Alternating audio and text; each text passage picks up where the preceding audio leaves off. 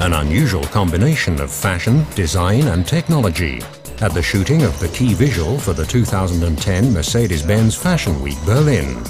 In the spotlight, the SLS AMG and top model Julia Stegner.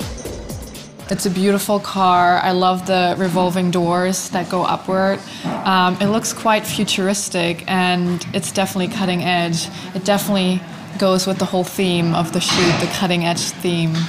Gareth Pugh made this amazing outfit that fits very well with the SLS AMG because it's very um, graphic. Um, like I think the car is very graphic too.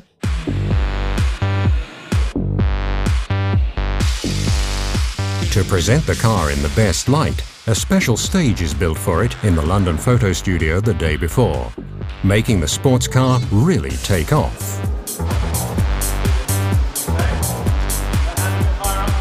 This time, the man behind the camera is Nick Knight. The British star photographer, currently one of the most innovative in the profession, is famous for his experimental approach to technology and fashion. His avant-garde, surreal imaging is enthralling. Yeah, I never worked with Nick Knight before, so it's it's a big pleasure for me to finally work with him. I love his work. He's he's not only a photographer; he really is an artist. Um, so I think he's going to make this key visual shoot, this key visual picture, look really, really amazing. So it, for me, it's a big honor to be able to work with him, to work with his team. Um, he's very artistic, you know, um, very creative futuristic and striking.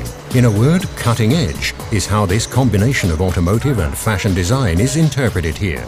The result of the photographer's complete artistic freedom, key visuals that are mysterious and surreal. The 2010 Mercedes-Benz Fashion Week. What a change!